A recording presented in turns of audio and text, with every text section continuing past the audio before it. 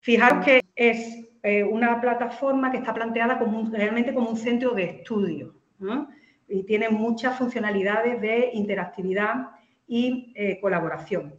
Para que os hagáis una idea, ¿eh? y voy a ir entrando, en INGBU vamos a poder realizar consultas, o sea, búsqueda, participar en foros, podemos añadir notas, podemos tener un espacio personal donde organizar los libros como favoritos, etcétera. Por lo tanto, si vosotros solo queréis eh, leer o buscar un libro, pues directamente eh, desde aquí eh, podemos, por ejemplo, buscar por carreras. Veis que se puede buscar por título, autor, ISBN, carrera, asignatura. Bueno, yo, por ejemplo, voy a buscar por biología ¿Veis? Eh, puedo ver aquí pues, todos los libros que hay de biología. Ahora, fijaros que los que tienen el lo verde, que ponen leer libros, son los que podemos leer completamente. Yo directamente daría aquí clic y lo puedo leer. Aquí puedo ver las áreas ¿eh? sobre lo que tiene información y aquí tenemos distintos tipos de búsqueda. ¿eh? Esta es la que yo he realizado arriba. Después tiene aquí una búsqueda avanzada,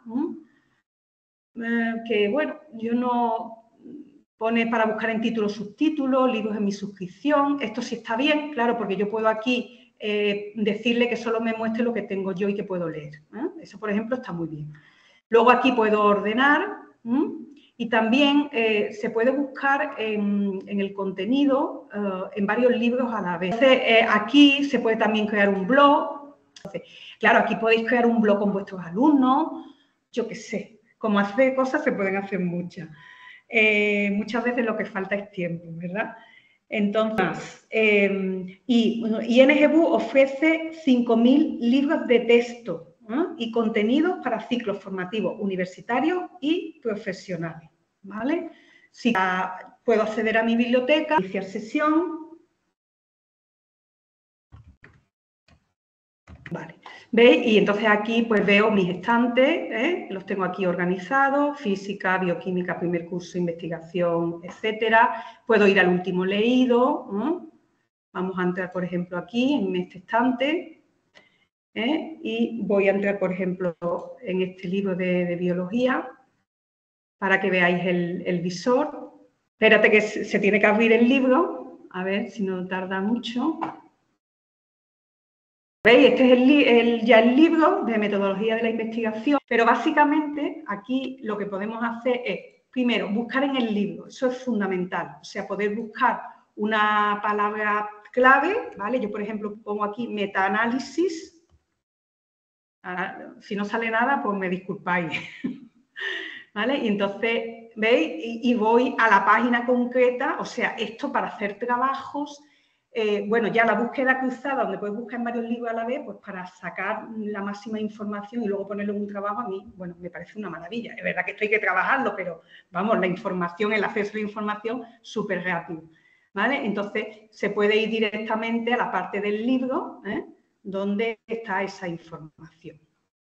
Después, eh, siempre la tabla de contenido, por supuesto, para ver el libro, irme de una zona a otra, las miniaturas, Después, eh, hacer notas, notas privadas y eh, también eh, poner notas compartidas. Es que tiene aquí, este ojito que hay aquí es para mostrar o habilitar las anotaciones. Básicamente, desde la nota privada, pues se, puede, em, por ejemplo, en, en esta, me parece que es, si se puede hacer una, nota enriquecida, o sea, que yo puedo poner una nota sobre una parte del libro y, por ejemplo, incorporarle un vídeo de YouTube. Em, y luego, eh, si os fijáis, eh, aquí pues los marcadores me van a aparecer aquí también, si quiero hacer marcadores, luego eh, cambiar la vista.